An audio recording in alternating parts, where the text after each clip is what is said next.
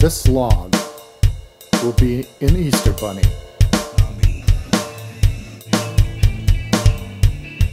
This is the head of the Easter bunny. You see the nose and you see the mouth. Tank the Amazing Bulldog. Okay, now we've separated the nose. We got the furry face. There's where the head and the neck separate. Now we've got where the legs separate, and then that'll be the base. Now this is how the rabbit looks standing up. Okay, you can see how far I'm getting along with this wood carving. And I've just cut out a hole between the legs. So then what will happen is this will slot right in, right here. It'll go down farther.